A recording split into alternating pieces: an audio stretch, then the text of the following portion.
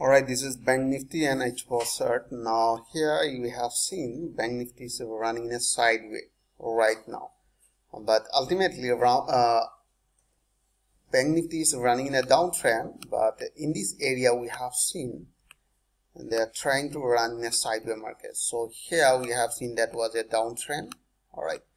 Now they are flashing in a sideway but in this sideway zone uh, you can see this is a large zone right? Almost 3000 point are there in between this uh, zone. All right. Now as i said yesterday that uh, they are going to uh, create a triangle shape. So somewhere here just a minute yesterday i just drawn like that and here like that drawn like that. So we are expecting that price will run like that and here just a minute. So we are expecting price will target to this level here. All right so if you wanna see in a small time frame like uh, h1 chart let me remove.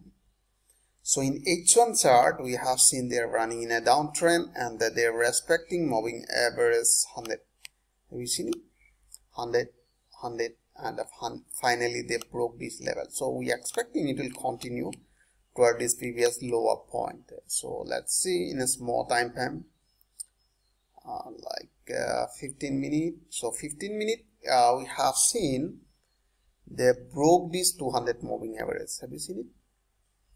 That is the 200 moving average and finally they broke this area and we are expecting it will continue toward the downside. All right but remember they never never goes like a straight so price always run like a wave. So we need a pullback and at that time some moving average will be here. They'll act as a resistance line and that will be our entry point.